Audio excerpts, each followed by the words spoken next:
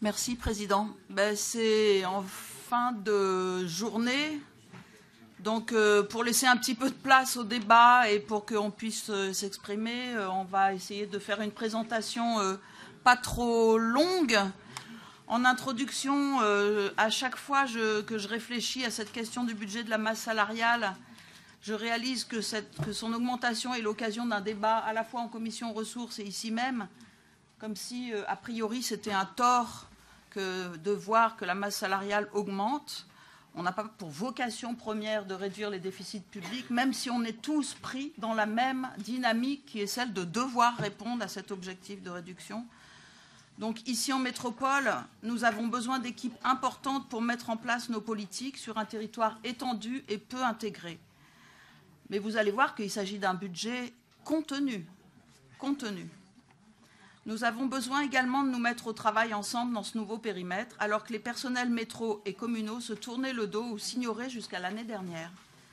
Nous avons besoin de réparer le passé et d'anticiper l'avenir. De trop nombreux personnels, certains déjà là, par exemple à la collecte, on en a beaucoup parlé, mais aussi chez les nouveaux transférés de la voirie, par exemple, sont absents en continu ou alors souvent absents selon des causes qu'actuellement nous recherchons, analysons et pour lesquelles nous proposons des mesures correctives qui mettront un peu de temps à produire leur effet. Et c'est en attendant que cela pèse fort, jusqu'à deux mois de masse salariale dans certains secteurs, sur ce budget. Les chiffres globaux que nous avons euh, à, à vous présenter, c'est que le, le budget principal pour le chapitre 012 s'élève à 62,6 millions d'euros hors budget annexe, soit environ 20% de toutes nos dépenses inscrites. Et les autres dépenses de fonctionnement, c'est 54,5 millions d'euros, c'est-à-dire les subventions, les fluides, notre carburant, tout ce qui concerne le fonctionnement, c'est 54,5 millions d'euros. Donc c'est comparable. Donc nous voyons que nous pouvons à la fois nous concentrer sur le personnel, mais aussi nous concentrer sur le reste du fonctionnement et voir s'il peut y avoir des passages de l'un à l'autre en fonction de ce que nous internalisons, de ce que nous périmétrons ensemble euh, dans nos discussions au cours de l'année. Euh, le budget annexe des déchets, c'est 15,2 millions d'euros en masse salariale. L'hypothèse générale de GVT, ça sera 1,45 en GVT strict, mais jusqu'à 2,5% attendu, ce qui était le cas jusqu'à 2014, et on va continuer sur la même pente, et ce, d'autant que nous allons devoir absorber deux réformes euh, qui vont venir de l'État, à la fois sur la valeur du point et sur l'ensemble la, des carrières donc euh, des territoriaux, ce qui est très bien pour nos territoriaux parce qu'ils seront mieux payés. Vous savez que ce ne sont pas des gens particulièrement bien payés, mais ça va être un petit peu délicat pour nous parce que nous allons sans doute avoir quelque chose à prévoir aux alentours de, 2000, de fin 2017, début 2018, que vous avez vu peut-être dans la projection. Est-ce qu'existe toujours la petite diapositive avec, euh, euh, voilà, celle-ci? Donc vous voyez, euh, lorsqu'on regarde cette diapo, que le premier, le premier, la première marche d'escalier que nous avons franchie, c'est début 2015, au moment des premiers transferts du passage en métropole, qu'ensuite, maintenant, nous franchissons une nouvelle marche, tout en gardant la même pente, la même pente d'augmentation, qui est de tenir à la fois ces transferts en année pleine et en même temps de penser à intégrer l'intérêt métropolitain et les gens qui vont venir du département via la loi NOTRe et les compétences transférées. Et ensuite, nous aurons à la fin à penser à réguler tout cet ensemble. À partir de 2017, nous serons normalement dans un périmètre de compétences à peu près stable et nous continuerons à augmenter cette masse salariale en étant prévisionniste un peu de 2,5% par an, mais je ne suis pas sûre qu'on ne puisse pas, moi, personnellement, réduire, mais on verra ça. Je pense qu'il vaut mieux prévoir plutôt qu'être insincère sur le budget du personnel. Tous ces gens sont utiles, même si euh, la difficulté est là, il faut contenir pour pouvoir se garder des marges d'investissement et en même temps, nous avons besoin de ces personnels pour faire métropole.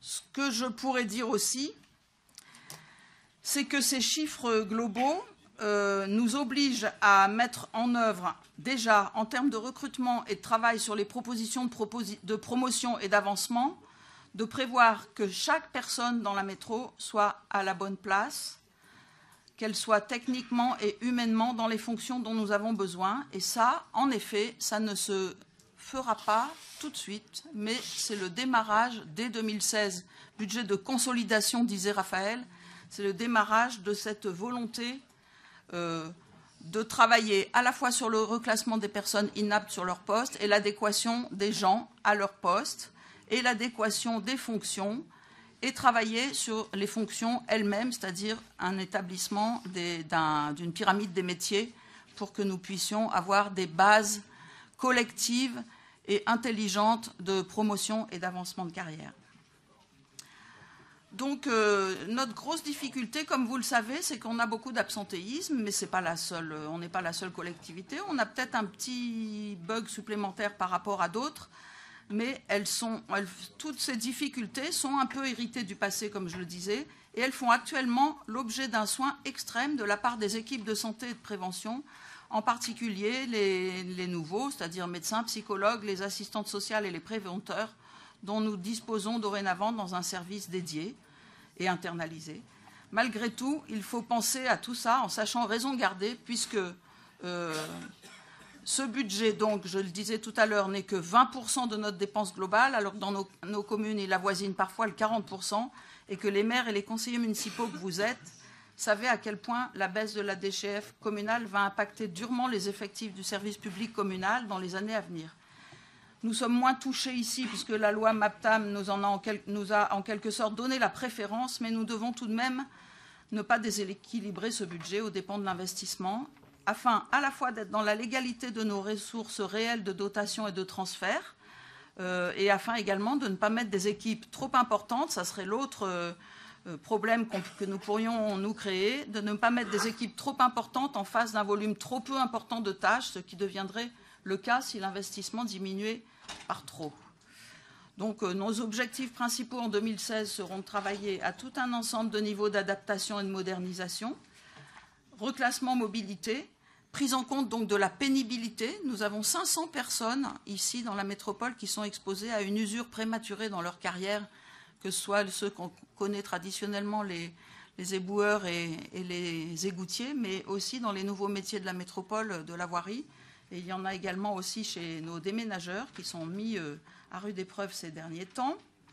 Euh, donc euh, le deuxième travail sera de classer les métiers et les fonctions, comme je vous le disais, avec une densification progressive des missions des cadres A, parce que ici, il y a quelque chose de très particulier, c'est que nous avons 24,7% de cadres A, 240, 16, attendez, je reprends, 24,7% de cadre A, 16,2% de catégorie B et 59,1% de catégorie C, ce qui est bien de ce point de vue assez classique. Mais ce qui est étonnant, c'est le petit rétrécissement au niveau de l'encadrement intermédiaire et des fonctions de maîtrise, enfin de, de, chef de service. Voilà. Donc ça, c'est quelque chose sur quoi il va falloir qu'on travaille très sérieusement. Ensuite, euh, en point 3, ce à quoi on va commencer à travailler, c'est l'organisation et tous les processus qui concernent euh, la prise de décision, la fabrication des objectifs de travail, en mettant en place une très forte dématérialisation dans les années qui viennent, la numérisation des procédures, y compris peut-être des délibérations, comme nous avons commencé à en parler.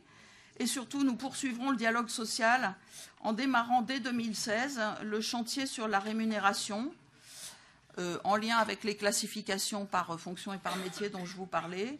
Le PDA, parce qu'on l'a dépoussiéré, mais il faut maintenant qu'on en fabrique un qui soit bien euh, digne de notre métropole. Le temps de travail, éventuellement, parce qu'en théorie, euh, les agents métropolitains travaillent moins en moyenne euh, par an que les d'autres euh, agents territoriaux. Euh, ceci n'est évidemment pas à traiter comme ça à la schlag, puisqu'il y a des personnes, par contre, qui travaillent énormément, et c'est peut-être une moyenne à regarder avec beaucoup de délicatesse et beaucoup de dialogue. donc, ce que je pourrais dire également, c'est que nous savons tout à fait que l'intégration des transferts de l'an passé a généré en plusieurs lieux euh, de la métropole des services une pagaille supplémentaire, bien que au moins ce premier travail de chantier de service qui a été conduit entre août et la fin de l'année a permis dans un premier temps une prise de conscience des différences culturelles qu'il y avait entre les gens qui venaient d'horizons différents et de leur nécessaire euh, intégration réciproque. Euh, je voudrais dire pour finir que les 1700 à l'heure actuelle personnels de la métropole sont notre matière grise, nos bras et nos jambes.